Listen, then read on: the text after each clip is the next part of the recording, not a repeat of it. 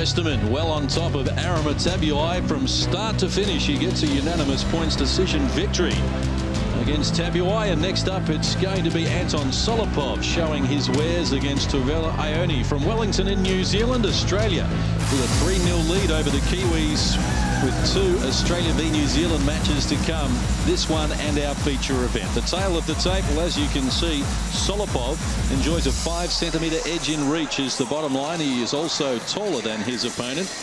Both men, they are right on the 69.85 junior middleweight rank uh, division. Eight three-minute rounds are scheduled. Ioane at 38 and inactive for the past four years. Certainly taken off, taken on a very tough assignment here as he looks to resurrect his career. He was last in action in November 1999 when he lost a 12 points decision to Sean Sullivan for the New Zealand light middleweight title. He's seen some Big names in his time, though. Tauvela Ioane, been against Mike McCarter, Australia's Kevin Kelly. Also lost to Sean Sullivan for the New Zealand welterweight title back in 1997. Sam Aokuso, Alberto Marchong, all great New Zealand boxing names that are well known on this side of the ditch. But one wonders about a man coming back after a four-year absence in against former world amateur champion, who's certainly a man on the way up. But he looks pretty pleased to be here. Tauvela Ioane Obviously, the Wallabies getting over the top of the All Blacks hasn't disappointed him. Maybe it has, and he's just not going to let it show.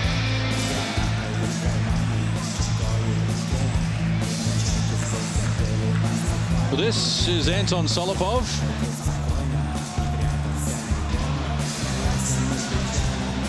Anton Solopov, three fights as a professional, made his debut here on Fox Sports back on July 25 with a six-round win over Rico Chong Nee.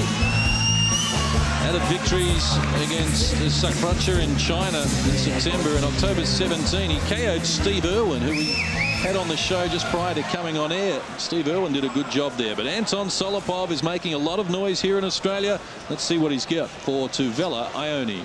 The semi-main event, we are scheduled for eight three-minute rounds and we are at junior middleweight. Introducing first in this international contest, first of all, fighting out of the red corner. He hails from Wellington, New Zealand, a record 20 fights, 14 wins, six via knockout.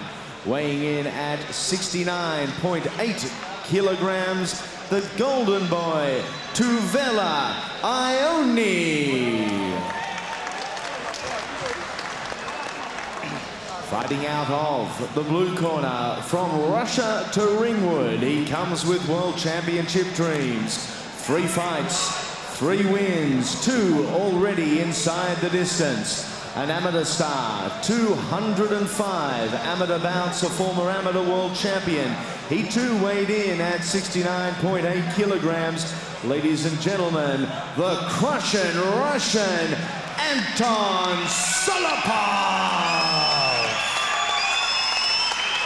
Anton Solopov really has got that baby face like Kotzebue. Semi-main event, Bryce Purvis from Gus Mercurio, John Wheeler, your three ringside judges. Okay, welcome to center ring. Good, clean fight. Obey my instructions all the time. Shake hands before you come out fighting for the last round. Well, shake hands now. Go back to your corners. Good luck. May the best man win. Malcolm Bullner with the final instructions. Anton Solopov has already defeated one Kiwi, Rico Chong Nee, on debut. Now he wants to Vela Ioane. Ioane, inactive for four years, John, as you said, he looks happy to be here, but I, I, will, I would be willing to wager at the end of the first round, if he gets that far, he won't be happy to be here anymore. And don't be surprised if he has trouble with traction as well. Tauvela Ioane, the boots that he's wearing at the moment appear to be at least three sizes too big for him. Yeah, I think You'll see the toes of them are starting to curl up. Box. He's got them strapped tightly. Here we go. The Southpaw Anton Solopov, undefeated in three fights against Tauvela Ioane from New Zealand, with Australia leading 3-0 in the international series conducted here at Fort Knox so far. Anton Solopov, very cagey, incredible amateur career, 205 bouts, 185 wins as an amateur and a world amateur champion. That is an awesome record. And fantastic for the Fighters Factory of Blackburn and Murray Thomson to have such international quality sparring for everyone in the gym.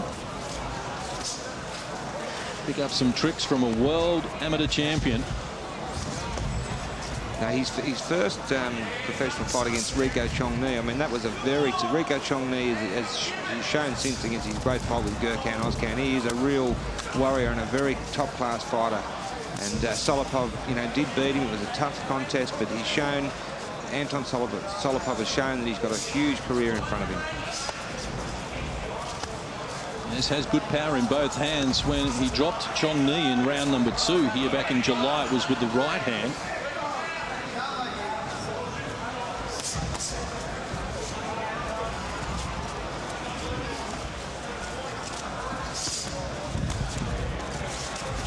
Well, not your typical European style boxer either. Anton Solopov. Yeah, very nicely composed, very tight defence he's got. Punches well inside with the uppercuts and got a good jab. Got all the moves.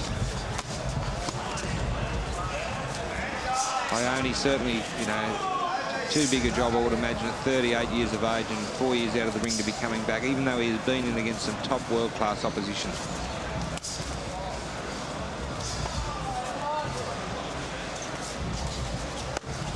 Solopov whacking away with a left hand inside the last 60 seconds of this first round. That grabbed the attention of Tauvela Ioane.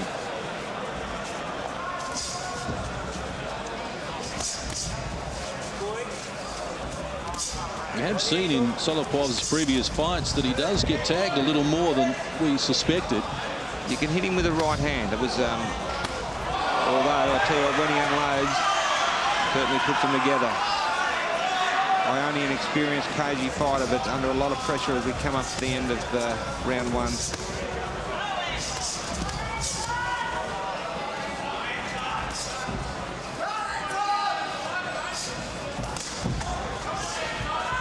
Ioane certainly not looking like a man inactive for four years. Now, he was moving quite well, even though he's uh, taking a fair bit of leather at the moment and wobbled there. Now he's in trouble. Solopov unloading and Ioane as the bell sounds to end round number one and the Kiwi Yeah. may even be saved by the bell. Yeah, I, I don't reckon this will go beyond the second round. I think uh, Solopov just starting to get on target there at the end of the first, and you'll see a lot more of that in the second. Just keep him those angles, right? All right? What's your take? Nothing else.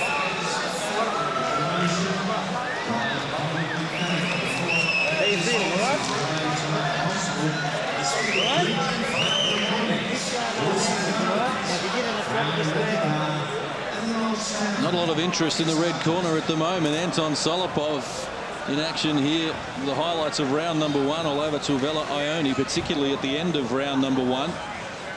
Well, stopping further punishment for the Kiwi. Ioane certainly not looking as uh, interested as he was at the start of the fight, for sure. The smile has disappeared. I did tip that, actually. After one round, he wouldn't look as happy. Yes, and you did tip pre-fight. This may only go to the second round as well, and we're in that stanza as Anton Solopov, Russian-born, now based in Melbourne. In the red trunks against Tauvela Ioane, the 38-year-old on the comeback trail after a four-year absence. Why not take on a world amateur Don't champion? hold, don't hold. Break. Yeah. Short comeback it'll be, I think.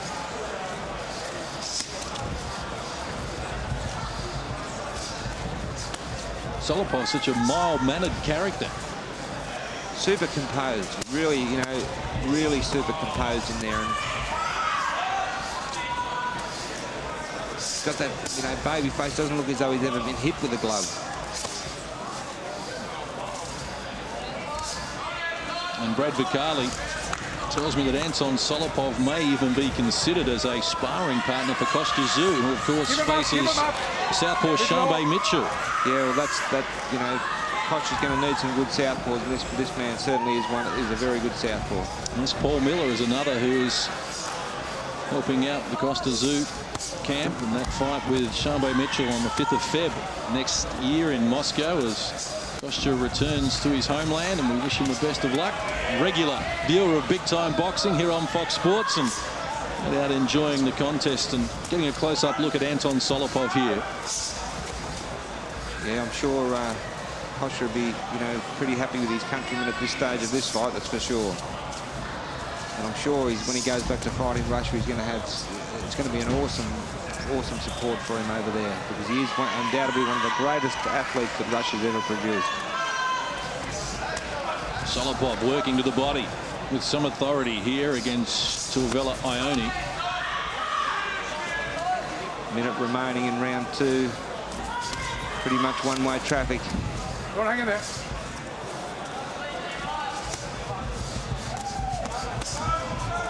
There's been lean pickings for the New Zealanders here in Australia over the past couple of weeks. Sure has. Ioane bleeding from the nose, cut just near the bridge.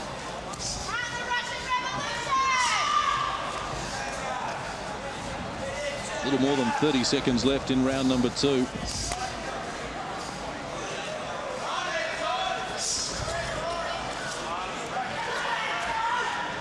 Right, keep working. 22-year-old Anton Solopov. Hardly troubled here by Oni at the moment. 22 with that amount of experience behind him, it's incredible. All he needs is uh, seasoning as a professional, and he's going to be a very hard ball to beat.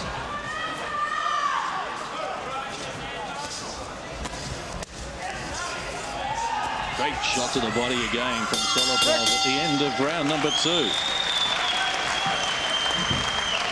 Tauvela Ioane hanging in there to see the second round out, but I'll tell you what, he's going to cop a lot more like he copped that round for sure. It's all one-way traffic again. Um, big breaths, Anton. Big breaths. Keep, take your time. All right, don't rush. You're going all right. Is good. You're getting the rounds.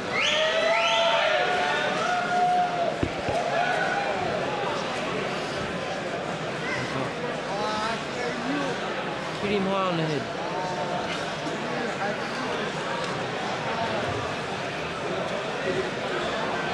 Hook, it- hook, hook your right hand over the top of his jab. Right high on his head. Seconds down, round three. Two rounds completed, scheduled for eight. Anton Solopov in the red trunks, Tauvela Ioane from New Zealand in the black and gold. Solopov well on top through the first two stanzas. And looking to up the tempo here, whereas Tauvela Ioane looking very fatigued in his comeback after a four-year absence.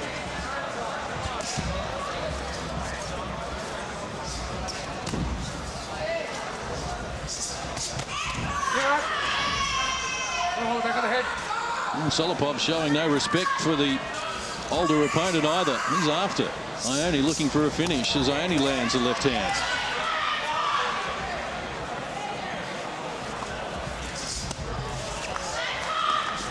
Good work there from Solopov, looking for his openings. Likes the uppercut. He really likes that right uppercut and the left uppercut as well, which is, uh, I mean, the uppercut is a dangerous punch to land, but he, he does it with style.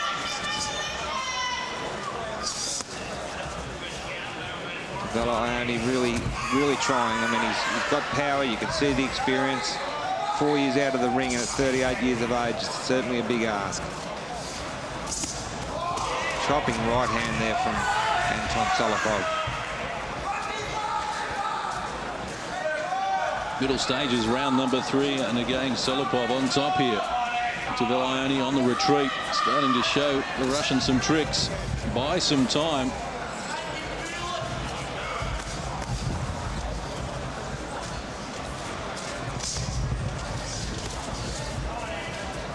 Just a matter of time.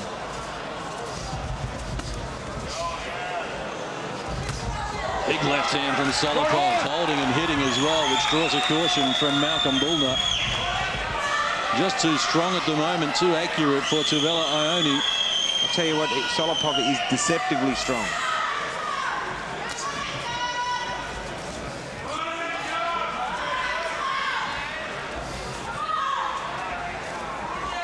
And just as we saw from Aramatsabuai, Ioane looking a little disinterested here, under pressure. Yeah, no. Crushing left hand from Solopov. Not a lot coming back from Tauvela Ioane. A treat on his mind at the moment.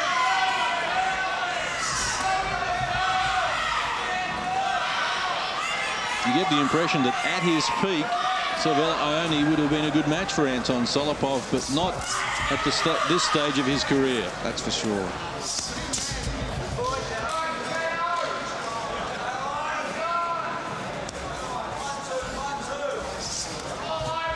Solopov just biding his time. I think he knows it'll come eventually. A good game performance by Tauvela Ioane, but uh, all one-way traffic again. Stay on top of him a little bit. Okay?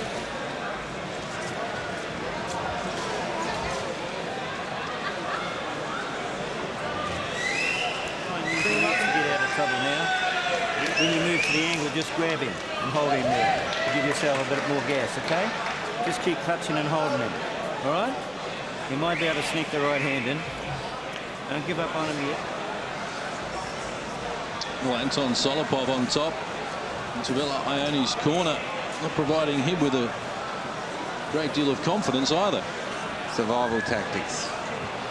Tell he's trying to tell him more or less how to survive in there, which is going to be easier said than done. Now grab him and instead of trying to use your legs, save your legs a little bit. Round number four for the junior middleweight, 69.85 kilos, 11 stone in the old language. Anton Solopov in the red trunks, a southpaw from Russia, undefeated in three fights.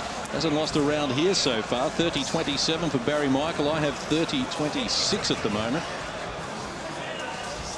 And the Kiwis, who are down 3-0 in this international series, look like dropping further behind. As the instructions for Tauvela Ioane are to try and stay with Solopov rather than try and win the fight. And it says for Solopov, though, if he's going to become a world champion in the professional ranks, just as he has in the amateur ranks, Oh, that he needs to see all sorts of styles and experiences. Ioane in a lot of trouble here.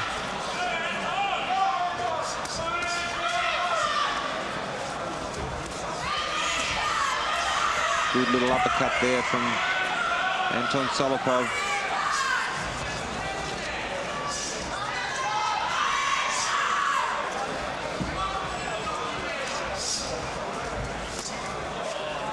Right, keep working, keep working there. Get up free, keep working.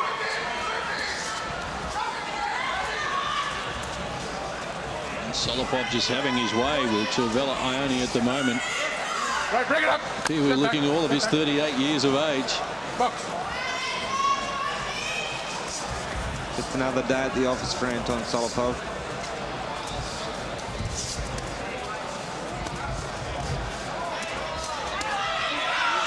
Tremendous work rate from Solopov. Despite the tactics of Tauvela Ioane, he continues to work hard.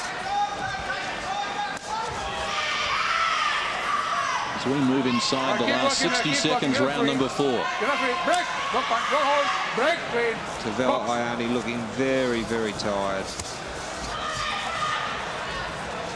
Watch the shoulders, watch the shoulders.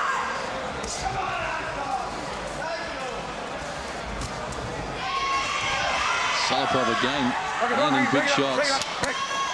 40 seconds remaining of round four. Tauvela Ioane certainly wishes he's somewhere else at the moment. And a good display from Solopov, whether at range or in close. Inaccurate with his punching. Precision punching there from Anton Solopov with both hands. shown us a variety of punches as well. Uh, As he has limited success, and he goes down on a body shot from Anton Solopov. Beautiful body shot, and I think that'll be enough. Five, Excellent shot to the body. seven, eight. That is all for Tauvela Ioane, and Anton Solopov is now 4-0 and undefeated here in Australia. His third stoppage, and the world amateur champion is making big noises on the professional scene. That was a clean shot to the body. You see that on slow motion. That that really hurt this guy. Well, on paper, it looked like a mismatch, and that's the way it transpired here. Because Tauvela Ioane, a four-year absence from the ring, is feeling the effects of stepping in against a former world amateur champion. Yeah, that was a pearler of a body shot. Dubbed the Crussian Russian, and he did just that. He sure did. One-way traffic from the opening bell. And Anton Solopov is raining blows on Tauvela Ioane. And under the weight of punches, could not continue. That was the shot. That was the body shot there. Right under the short ribs. Ioane on the stool in the center of the ring. And now that Smile is back, but Anton Solopov and Murray Thomson, the Fighters Factory, they are going places. We look forward to seeing Solopov uh, step up. Yep, I think uh, he'll step up in style, this guy. Ladies and gentlemen, at a time of 3 minutes and 4 seconds of round number 4, your winner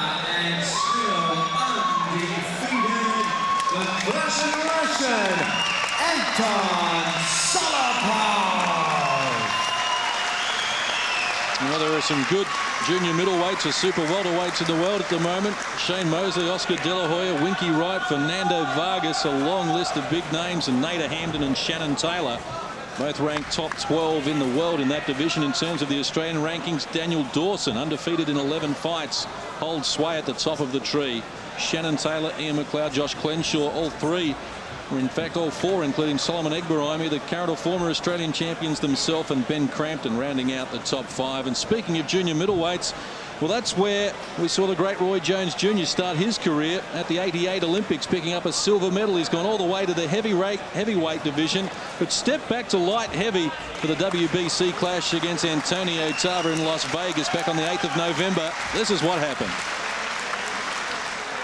Roy Jones Jr. stepped into the ring 20 pounds lighter than when he claimed the heavyweight title in March. The pound for pound king of boxing, the five-time world champion and current WBA heavyweight champion of the world, Roy Jones Jr. Antonio Tarver came way down with titles. Light heavyweight champion of the world, Antonio Magic Man Tarver.